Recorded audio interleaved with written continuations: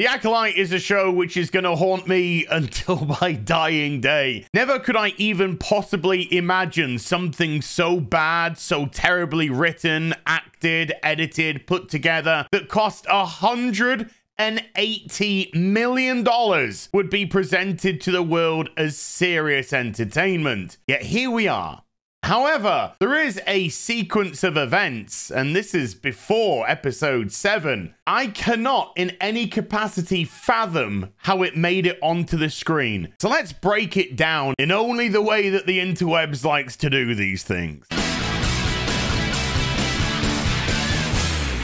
Hi everyone, it's Az here from Heel vs. Babyface. The Acolyte is a show so bad that even Boogie2988 could make a video about it right now, and people would forget that he lied about his cancer diagnosis. Yet there was a passage of time in the film which was just so inconceivably re not quite there on the timescales for YouTube to allow me to use these words that I had to break it down because it's in my head and I need to exercise my demons. Forgive me, Father, for I am about to get balls deep into sin here. At the end of episode 5, loads of Jedi are easily dispatched by Smilo Ren, aka Discount Agent Ezra Miller, and Osha and Mae are finally reunited as identical twins after 16 years of believing each other was killed. Both the sisters seem to be, in terms of story, on the same page. Mae, who's the bad sister, wishes to hand herself into the Jedi to answer for her crimes of murder. Osha, who's the good guy, is happy to see her sister, but understands that she has to arrest her and hand her into the Jedi so she can answer for her crimes. Narratively, they are aligned. However, this happens. You're a criminal, Mae. You must pay for your crimes. What are you doing?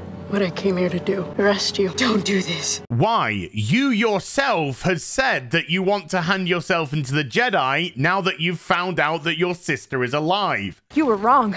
Osha being alive changes everything. My loyalty is to Osha, not your master. What I'm going to do is surrender myself to Kelnacca, and then turn myself into the Jedi. No, no, no, no, no, stop, stop. The Jedi will put you in prison. Not after I tell them who I know. Your sister is giving you exactly what you want, and now for some reason you don't want it. Not that Mae actually has anything to tell the Jedi, because we've already established that they know that she knows nothing.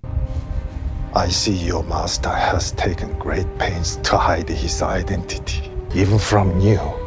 But it is cute that you think that giving up the identity of your master would absolve you of multiple murder charges. And I hate to break it to you folks, but it gets much worse.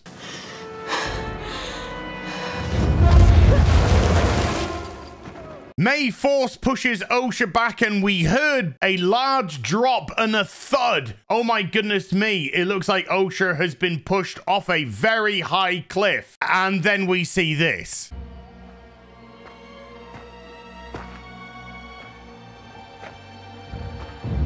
You force pushed off a two and a half foot drop, and that's rendered her unconscious?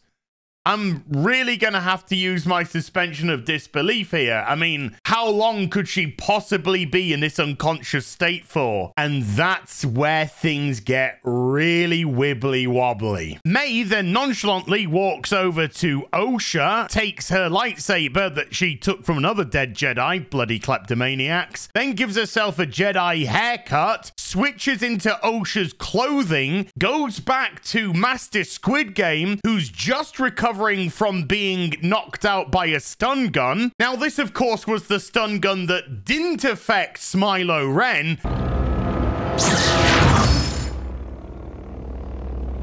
but did knock out for a substantial amount of time Master Squid Game because script needed him to be unconscious, so the girls could do their shenanigans. Mae, who is now disguised as Osha, hides Osha's body and returns to Master Squid Game, who very conveniently is now regaining consciousness. He decides to leave all the dead bodies of the Jedi because if he went looking for the Jedi to give them a decent burial, then he would have come across Osha's body and that would have interfered with plot. So they decided to make him look stupid and heartless. They then saunter back through the woods together, which we've already established takes a heck of a long time. Hi ho, hi ho, it's home from work we go. No, no, no, no.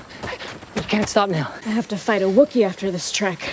I'd like to rest for a minute. Get back to the ship and once more saunter through the ship as we see Master Squid Game heading towards the communication device in the cockpit. Are you still with me, folks? Because the nonsense is actually just starting now. Because that whole period of time must have been several hours. Let's just say two to be exceedingly generous. Only now does Smilo Ren return to where he fought the Jedi after being carried away by space insects. He recovers his helmet and his cloak and climbs up a staggeringly high three steps, the ones that Osha fell down, and then round the corner discovers the still unconscious body of Osha, meaning that she's been incapacitated now after falling down three steps for about two hours at least most likely a lot more. But things are going to get even more stupid. The next episode starts with Osha waking up in somebody else's bed. Let's just be honest, probably not for the first time in her life, the dirty tart. We are then provided with the information that Osha has arrived at the holiday destination of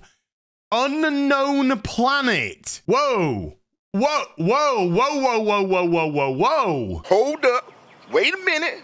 Something ain't right. Writers, you do know what you just did there, don't you? That means that Smilo Ren has to pick up Osha, carry her to his ship, which will take two to three hours, travel to a completely different planet, unknown planet. And although the show seems to think that travel is instantaneous, it's really not. Land, take her from his ship into his home, put her down, put some food on to cook, go outside onto the beach to pick up some seashells, and then wait for Osha to come spy on him as he goes skinny dipping in a local lagoon. The dirty slapper. So let's say all in all about seven or eight hours of falling down two fucking stairs. She's not exactly Hans Bloody Gruber, for goodness sake. It was a two and a half foot drop. After all, not only did Osha survive this spaceship crashing into a planet, but she didn't even get a scratch on her and remained unconscious for a shorter period of time. So what on earth was Master Squid Game doing? After all, this means that he was at his ship for about two to three hours before Smilo Ren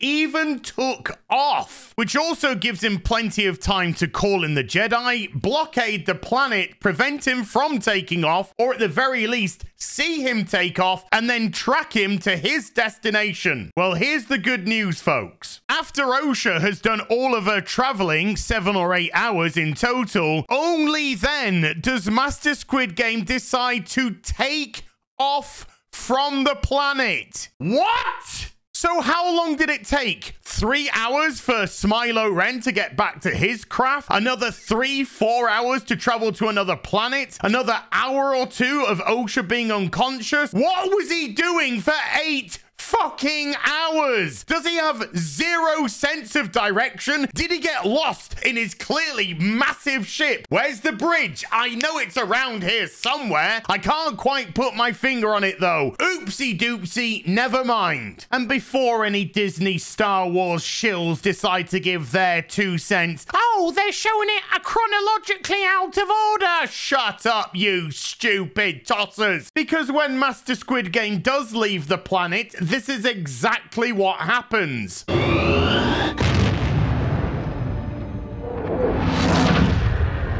Master Squid Game leaves and the Jedi arrive. So who's the idiot? Is it Master Squid Game for being AWOL for eight bloody hours? Or is it the arriving Jedi who are the fools that couldn't detect the ship taking off, couldn't detect anything about Smilo Ren, couldn't detect their ass from their fucking elbow? Who is the moron here? And another question. If this was all done before Smilo Ren got back to his craft and took off, then where the hell is Master Sol going? Did he read the script? Did that tell him where to go? Huh? So for this incompetent load of crap to make sense within the show from a chronological perspective, then that means Smilo Ren has to actually be on his planet skinny dipping with OSHA. So what was Master Sol doing for eight hours? I guess we'll never know. Thank goodness episode 7 can't get even more incomprehensibly stupid, huh? I've had 16 years. Think about what I would say to you if I ever got the opportunity. So you're going to listen. No! Mama!